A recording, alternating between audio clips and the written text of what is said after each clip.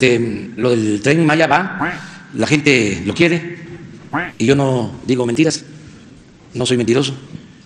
Y se trata de una inversión pública de más de 120 mil millones de pesos. No es crédito, no es deuda, son ahorros por no permitir la corrupción, por la austeridad republicana. No se afecta el medio ambiente, al contrario, se mejora todo el ambiente, no el medio ambiente. Estamos hablando de una reducción de emisiones a la atmósfera de más del 50%, de más del 50%.